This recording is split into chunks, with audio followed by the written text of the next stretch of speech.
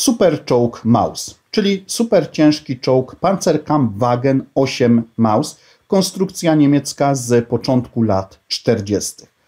I może zacznijmy od tego, że oczywiście ten czołg raczej nigdy nie miał szansy na to, żeby trafić w jakiejkolwiek formie do służby aktywnej. To czołg, którego można powiedzieć ograniczenia były zbyt duże, były zbyt poważne, żeby ktoś realnie myślący, patrzący na ten temat, myślał w jakikolwiek sposób mógł myśleć, że tego typu konstrukcja będzie mogła stanowić realne wzmocnienie w ówcześnie toczącym się konflikcie. Oczywiście był to czołg, który był takim oczkiem w głowie, który powstawał tylko z powodu pewnego niedoszłego malarza pokojowego i gdyby nie on, to tego typu konstrukcja najprawdopodobniej nigdy by nie powstała. Chociaż należy wspomnieć, że ta decyzja o tym, że powstanie, że powstanie czołg super ciężki, zapadająca, która zapadła w 1940 roku, dotyczyła na początku, początkowo czołgu o masie 75-90 ton. Zapraszam wszystkich do ocenienia, skomentowania, pokazania tego materiału znajomym, wrzucenia na swoje media społecznościowe, spojrzenia na mój drugi kanał o motoryzacji. Dziękuję wszystkim wspierającym, tym, którzy wspierają mnie stawianiem mi symbolicznej kawy, komentarzem z super podziękowaniem, czy też na moim patronajcie. Tylko, że ci, którzy znają historię rozwoju tych czołgów, niemieckich czołgów z, dane, z tego okresu, doskonale zdają sobie sprawę, że te czołgi im dosyć mocno przybierały na masie i na przykład czołgi, które miały ważyć około 30 ton, 30 kilka ton, zbliżały się do 50 ton, te, które miały ważyć 40 kilka ton, zbliżały się do 60 ton. Obecnie obserwujemy podobny, można powiedzieć, rozwój czołgów, że ich masa się zwiększa, no ale nie aż w tak dużym stopniu, jak wówczas to obserwowano.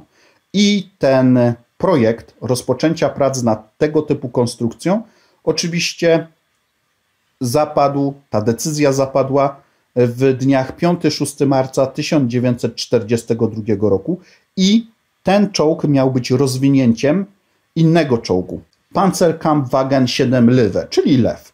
I ta produkcja miała być e, przeprowadzona przez bardzo dobrze nam znaną firmę Porsche.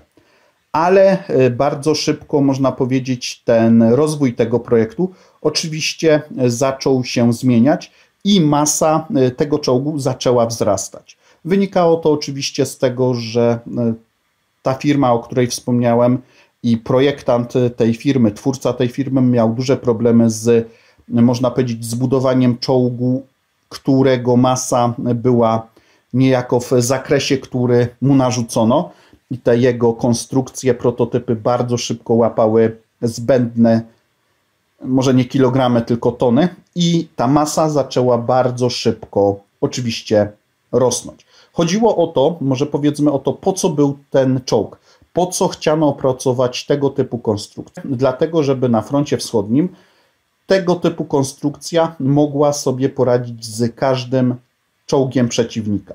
Żeby to opancerzenie, które byłoby zastosowane na tym czołgu, miało być dla tych wrogich pojazdów po prostu nieprzebijalne, a zastosowanie na przykład 150 mm działa miało powodować, że każdy przeciwnik po trafieniu nawet z bardzo dużej odległości, kilku może nie kilku kilometrów, ale na przykład półtora, dwóch, dwóch i pół, trzech kilometrów, miał być po prostu od razu wyeliminowany.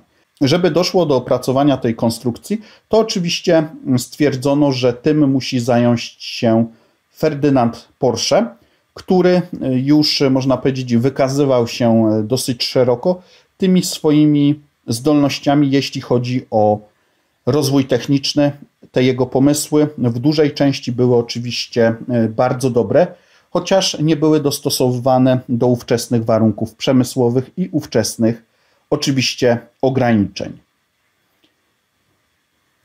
Tylko, że ten projekt był tak duży, tak e, szeroki i tak ciężki, nie tylko w znaczeniu masy, że w końcu w 1943 roku stwierdzono, że inne firmy również będą musiały brać udział w tworzeniu tego typu czołgu, tak ambitnego wyzwania. I tak, do, można powiedzieć, konstruktorów, do tych firm, które miały za zadanie wyprodukować tą myszkę, doszło przedsiębiorstwo Krupp, które miało stworzyć kadłuby i wieże. Daimler-Benz miał oczywiście opracować silnik, Siemens, Siemens Schickert miał wprowadzić produkcję, miał opracować i produkować instalację elektryczną, czyli jeden z tych elementów, które w tych ówczesnych niemieckich czołgach dosyć mocno mm, no nie działały, no ale nie tylko u nich. Oczywiście Skoda na przykład miała opracować zawieszenie. I tych pozostałych przedsiębiorstw było dużo, tak żeby ten projekt mógł przyspieszyć. Ale należy pamiętać, że to właśnie Porsche miał być tym, który, który będzie wszystko nadzorował. Że on miał być tym, który zaprojektuje i nada tą ostateczną formę temu pojazdowi. I w ten sposób oczywiście stworzono pierwszy taki jeszcze nie do końca dokończony prototyp, który 22 grudnia 1943 roku trafił na poligon.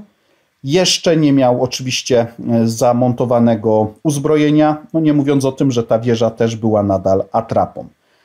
Ale te próby oczywiście no nie przynosiły takich rezultatów, jak się spodziewano. Tu jednak wielkość i masa oraz, oraz nacisk na powierzchnię pokazywały, że są pewne problemy wynikające z zbyt dużej masy. Jednak nadal kontynuowano pracę i w marcu 1944 roku na poligon trafił drugi, można powiedzieć, prototyp, chociaż jeszcze nie zbudowany w całości, ponieważ wieża, taka już prawie docelowa, trafiła na poligon dopiero w maju 1944 roku i ona e, trafiła właśnie na ten drugi kadłub, na ten drugi prototyp. Więc y, można powiedzieć powstały dwa mausy. Jeden, ten pierwszy kadłub z atrapą wieży bez uzbrojenia i drugi kadłub, do którego zamontowano wieżę i uzbrojenie. I można, no i właściwie to był taki jedyny istniejący prawie w pełni ukończony egzemplarz tego super ciężkiego czołgu. Następnie rozpoczęły się kolejne próby, kolejne próby, które były prowadzone na innych poligonach. Tutaj należy wspomnieć, że ten pierwszy kadłub, ten pozbawiony prawdziwej wieży, po prostu był wykorzystywany do tego, żeby holować ten drugi kadłub. I oczywiście to jest coś, co nie mogło się udać. Zaraz przejdziemy do danych technicznych, tylko że no, należy sobie, tylko należy sobie szczerze powiedzieć, że to nie mogło się udać. Nie chodzi tylko o to, że tego typu czołg nie sprawdziłby się na froncie. No, zbyt dużo ograniczeń, o których też porozmawiamy, ale chodzi też o to, że ówczesna sytuacja państwa, które chciało wyprodukować tak ambitną konstrukcję, tak trudną konstrukcję, konstrukcję, która no naprawdę była czymś bardzo, bardzo skomplikowanym, wymagającym wielu materiałów, do których dostęp był bardzo ograniczony, surowców, których po prostu nie było w dużych ilościach, no to nie mogło się udać. Dlatego też doszło do przerwania prób poligonowych Doszło do tego najprawdopodobniej 19 sierpnia 1944 roku, kiedy to no, okazało się, że przydatność bojowa i szansa wprowadzenia tego czołgu, realna szansa, no jest żadna. I co ciekawe, 21 kwietnia 1945 roku Sowieci zdobyli te dwa prototypy, chociaż właściwie prototyp, można by powiedzieć, jest jeden, a ten jeden był tylko takim prototypem prototypu. I co ważne, stworzyli pojazd, który składał się z kadłubu pierwszego prototypu i wieże z drugiego. I co bardzo ważne, wzięli go na testy do siebie. I jest to taki jeden, jedyny czołg, istniejący Maus, którego możemy oglądać w muzeum w Kubince. No raczej nie możemy i przez najbliższe lata zapewne nie obejrzymy, myślę, że nigdy. Tylko, że no, jednak jeden egzemplarz powstał. Ale może teraz przejdźmy do danych technicznych. Nagadaliśmy się o historii, więc materiał pewnie w ogóle się nie obejrzy. I tak, tak jak wspomniałem, miał być to czołg super ciężki. Trakcja gąsienicowa. Załoga miała składać się z sześciu osób, więc i tak jak na tego typu gigantyczną konstrukcję, to było coś, można powiedzieć, niezbyt imponującego. Jeśli chodzi o napęd, miały być to silniki 12-cylindrowe, albo to miał być silnik benzynowy MB509 1080 koni, albo silnik wysokoprężny MB517 1200 konny. Ale pamiętajmy, że one miały być połączone z generatorem i dwoma silnikami elektrycznymi, ponieważ e, ta konstrukcja miała mieć napęd taki hybrydowy, nie wiem czy to dobre określenie, napęd, który miał polegać na e, produkcji, zasilaniu e, tych generatorów, które produkowałyby energię elektryczną do tych silników elektrycznych, które napędzałyby ten czołg. I właśnie to też sprawiało duże problemy. Tutaj e, ten napęd naprawdę jest ciekawy, kiedyś nim się zainteresujemy tak bardzo, bardzo, bardzo dokładnie. I ten czołg miał charakteryzować się, no nie powiem dobrymi osiągami, ale 20 km na drodze utwardzonej, około 13 km w terenie, tak teoretycznie, to naprawdę niezła wartość jak na pojazd, który miał mieć masę 188 ton. Ponieważ tutaj sobie na początku nie powiedzieliśmy, a ten czołg miał ważyć 188 ton. Przy długości 10 metrów 9 cm, szerokości 3 metrów 67 cm i wysokości 3,66 m. Dlaczego przy wielkości, która jest zbliżona do dzisiejszych czołgów, ta masa jest taka duża? Oczywiście z powodu tego, że w przypadku tego czołgu zastosowano bardzo grube opancerzenie i ten konstruktor, ten bardzo słynny konstruktor, który naprawdę miał wiele pomysłów, nie potrafił zbudować czołgu, który przy danej wielkości był lżejszy. I Sowieci i Amerykanie byli w stanie zbudować swoje czołgi, y, można powiedzieć, ciężkie, czy też super ciężkie, no raczej ciężkie, które potrafiły ważyć przy podobnych możliwościach, jeśli chodzi o pancerzenie, jeśli chodzi o wyposażenie, jeśli chodzi o wielkość, zdecydowanie mniej niż konstrukcje, które oczywiście powstawały w ówczesnym czasie w Niemczech ale gdy chcemy mieć bardzo gruby pancerz, gdy chcemy mieć konstrukcję, która będzie naprawdę zapewniała wysoki poziom ochrony, no i mamy technologię z początku lat 40., to powstaje czołg właśnie o takiej masie 188 ton. I teraz może zatrzymajmy się przy tej masie i zdajmy sobie, i musimy teraz pamiętać, że jest to gigantyczna masa i gigantyczny problem, jeśli chodzi o pokonywanie po prostu terenu. Już nie wspominając o mostach. O mostach, których wówczas było zdecydowanie mniej i były one zdecydowanie słabsze niż dzisiaj. Obecnie mosty są przystosowane do ruchu na przykład pojazdów ciężarowych, pojazdów, które ważą 40 ton i tych pojazdów na przykład na moście może być kilka, kilkanaście, nie mówiąc o tym, że większość tych mostów, tych takich y, położonych w strategicznych miejscach, musi znosić masę większą niż te 40 ton. Ponieważ oczywiście mamy gabaryty, mamy też mosty, które muszą być przystosowane do transportu wojska. I wiedząc, że mamy na przykład 70-tonowy czołg plus 20-tonowy na przykład zestaw, który go niejako transportuje, musimy wiedzieć, że mamy 90 ton. I do takich wartości duża część mostów po prostu jest przystosowana i nie to, że na przykład będziemy mieć 60 kilku tonowe Abramsy, nie oznacza, że nie będziemy mieli jak ich przewozić. To jest po prostu takie patrzenie przez pryzmat tego, że kiedyś czołgi były lżejsze. No jak widać, no w latach 40. były też czołgi cięższe i jakoś sobie wówczas dawano radę. Ale gigantyczny problem. No łatwo sobie wyobrazić, jak taki kolos ważący 188 ton mógłby na przykład pokonywać jakiś podmokły teren, czy też nawet y, teren, który dla czołgu ważącego 70 ton byłby do pokonania, to taki gigant ważący prawie trzykrotnie więcej, że miałby gigantyczne problemy. I to była podstawowa wada tego, można powiedzieć, pojazdu.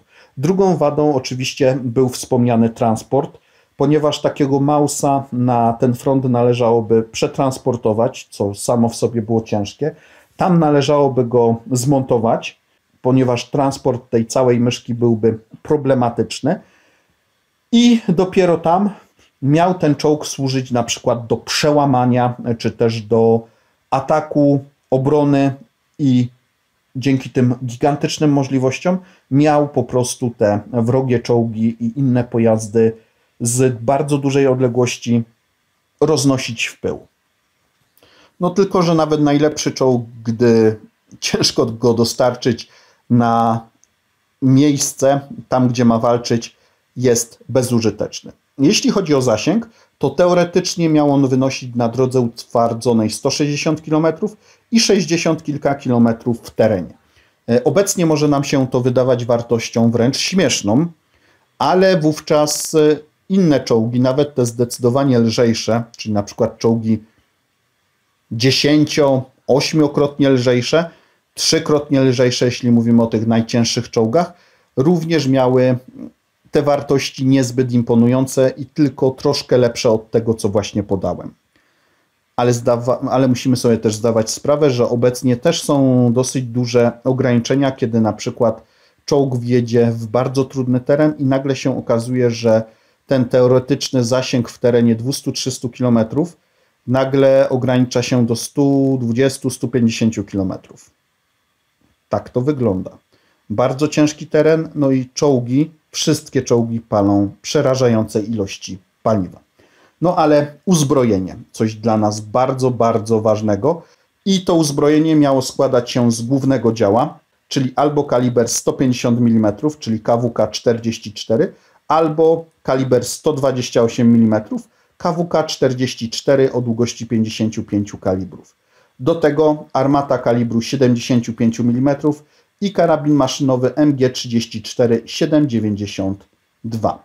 Więc ta siła ognia miała być potężna. 128 mm działo albo 150 mm działo.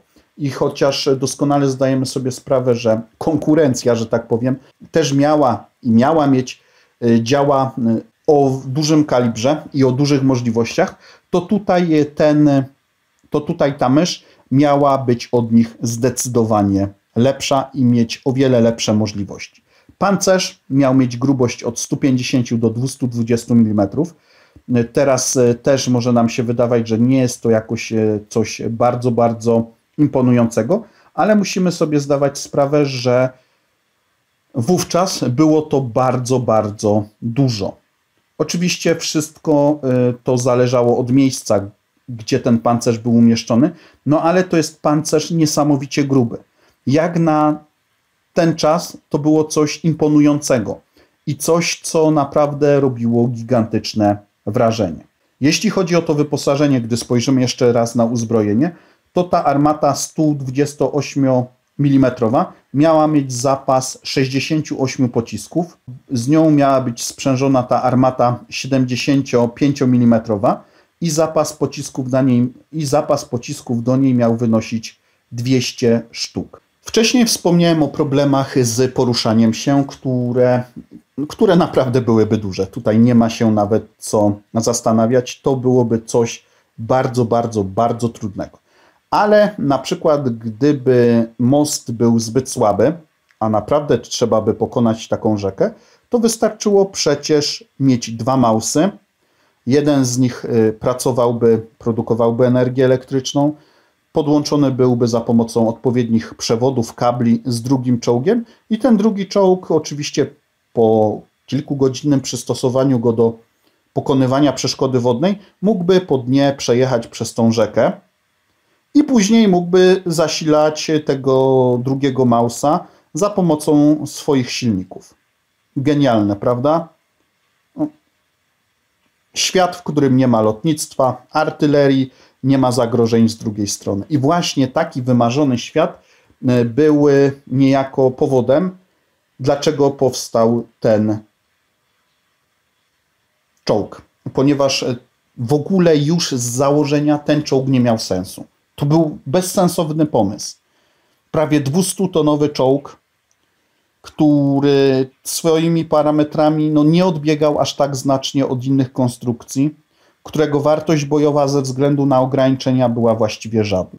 A zapotrzebowanie na materiały, na to, ile czasu schodziło, żeby wyprodukować taki czołg, to przekładało się na przykład na wyprodukowanie, nie wiem, czterech, pięciu tygrysów, czy też kilku panter, no bez sensu, no ale musimy zdawać sobie sprawę, że to nie byli normalni przywódcy i takie zachcianki pewnego niedoszłego malarza pokojowego doprowadziły do tego, że ten czołg powstawał i w końcu powstały prototypy i może bardzo dobrze, ponieważ e, tracono na to siły, środki i pomysły, które lepiej, żeby na przykład nie trafiały w rzeczy, które mogłyby naprawdę się sprawdzić.